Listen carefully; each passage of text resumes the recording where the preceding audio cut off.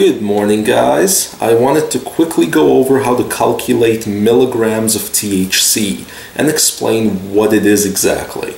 I think this is one worth knowing since milligrams of THC is quickly becoming the new dominant unit of measurement when it comes to trying to discuss dosages, just like it's the dominant unit of measurement with prescription medication and a lot of other substances.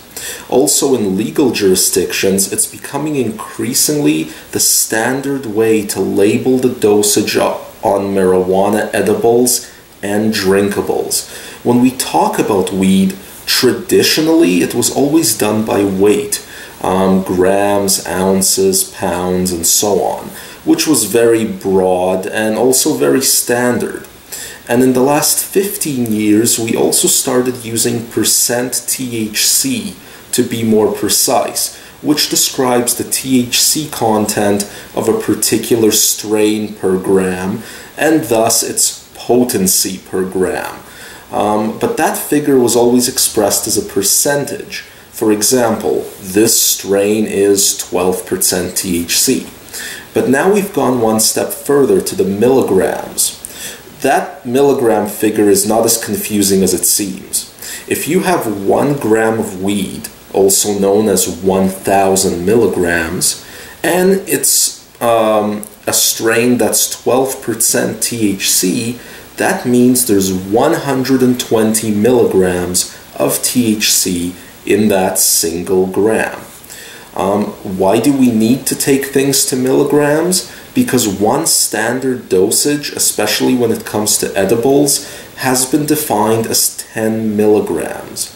10 milligrams of THC is the amount of THC that a relative novice consumer would need to consume in order to feel mild uh, cannabis effects, a mild high.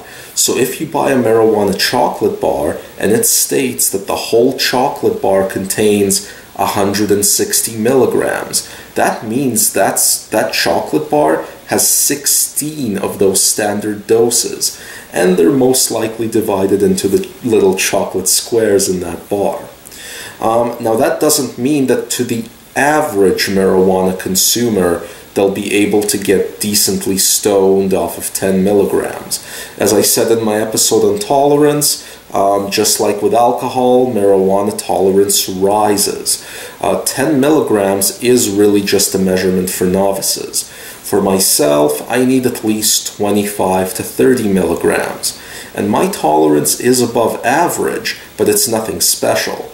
I know super heavy marijuana users who don't feel much of anything until they get to about 50 milligrams.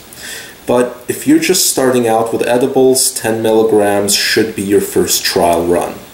Obviously, to control dosage on such, like with such precision, you have to live in a legal weed jurisdiction because that's the only way you're going to see the percent THC or the milligram THC figure expressed in a reliable way on a package. So there you go. Now you know what milligrams THC is and how it might apply to you. Hope you enjoyed the show. If you found it useful, be sure to subscribe and hit that like button. See you next time.